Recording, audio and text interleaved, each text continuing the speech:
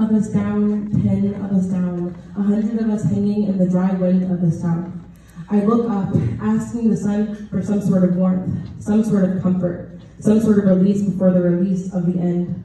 Only I never asked to be sailed over. I never asked to be shipped with black bodies on black ships traveling through black water. I am a vessel. My body is a vessel. My body is not mine. Shipped like postal packages on an anti-cruise ship. I lost my name, my tribe, the beat to a bloodline that will be severed for generations to come.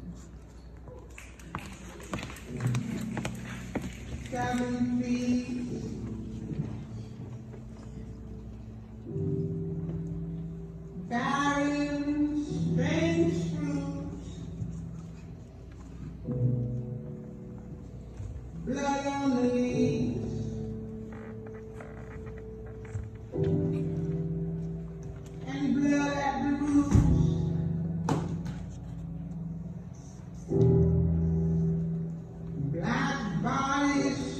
Swinging in the southern breeze.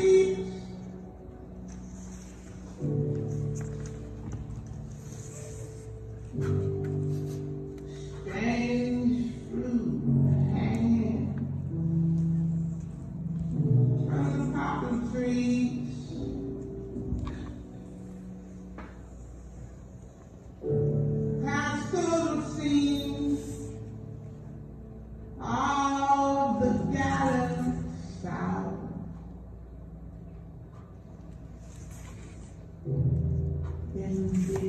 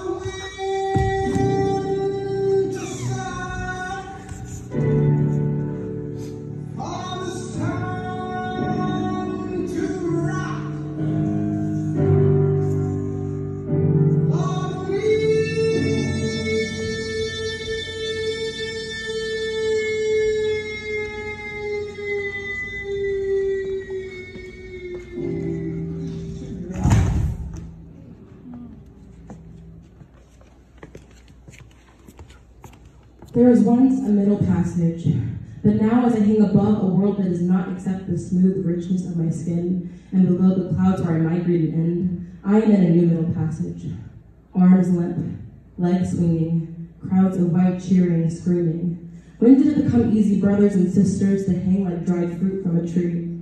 Like Langston said, let my land be a land where liberty is crowned with no false patriotic wreath. But opportunity is real, and life is free. Equality is in the air we breathe. But why? Why can I not breathe with this rope-made necklace at my throat? Why have I felt the most relief thereafter as I swung in the southern breeze? I suppose we are all African American, but when was America ever mine to claim? When did America claim me unless I was picking? When did they pick me before my body was severed into three fifths? Before I was left to swing in the wind?